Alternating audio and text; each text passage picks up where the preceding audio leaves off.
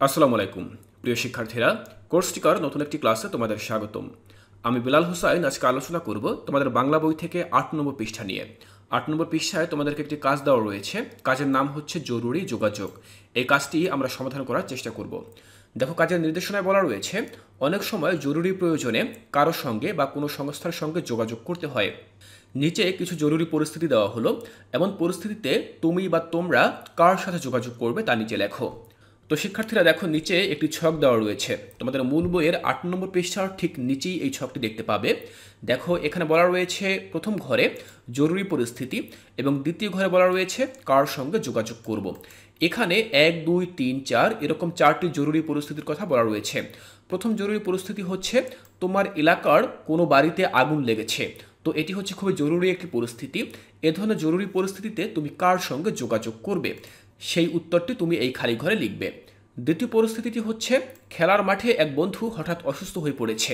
তো তুমি এক্ষেত্রে কার সঙ্গে যোগাযোগ করবে, সেটি তুমি এখানে লিখবে। তিন নম্বর বলা রয়েছে, ঝড়ের পরে বিদ্যুতের তার রাস্তায় পড়ে আছে। তো এক্ষেত্রে তুমি কার সাথে যোগাযোগ করতে পারো, সেটি তুমি এই খালি ঘরে লিখবে এবং সব শেষে চারে বলা হয়েছে, হারিয়ে যাওয়া কোনো শিশুকে খুঁজে পাওয়া গেছে।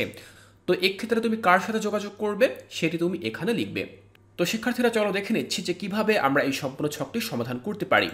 দেখো, আমাদের জরুরি পরিস্থিতি একে বলা হয়েছিল, তোমার এলাকায় কোনো বাড়িতে আগুন লেগেছে।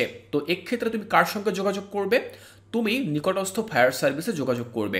অর্থাৎ তোমার আশেপাশে বা স্থানীয় যে ফায়ার সার্ভিসের অফিসটি রয়েছে, তুমি সেখানে ফোন করে জানাবে যে তোমার এলাকায় আগুন লেগেছে এবং এবং তারপরে সেখান থেকে কিন্তু তারা চলে আসবে তোমার এলাকার সেই আগুনটি নিভানোর জন্য।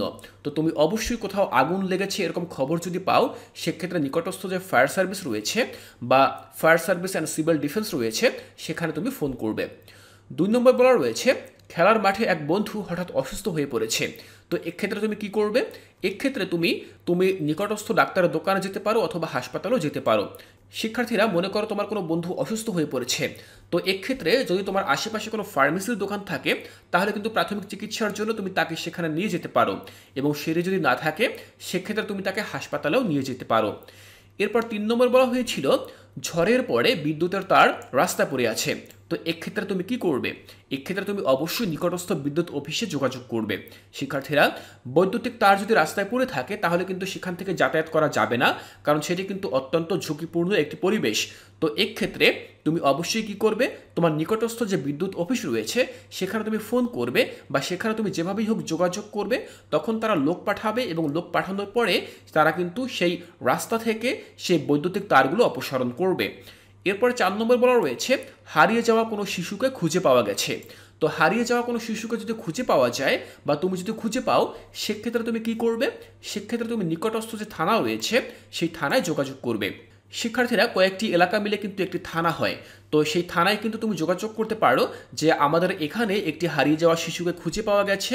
তখন তারা তোমাদের কাছে আসবেন এবং আসার পরে তোমাদের কাছে যে শিশুটিকে পাওয়া গেছে, সেই শিশুটিকে তার অভিভাবক বা পরিবারের কাছে ফিরিয়ে দেওয়ার জন্য যথাযথ ব্যবস্থা তারা গ্রহণ করবেন। তো শিক্ষার্থীরা, আশা করছি তোমরা বুঝতে পেরেছ যে কোন পরিস্থিতিতে আমরা কার সাথে যোগাযোগ করব।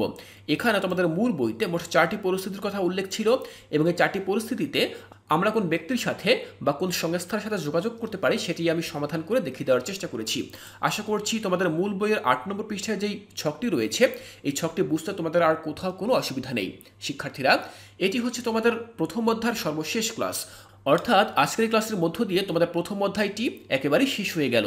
এর পরবর্তী ক্লাসে আমরা চলে যাব আমাদের মূল বইয়ের দ্বিতীয় অধ্যায়, যেটির নাম হচ্ছে প্রমিত ভাষা শিখি।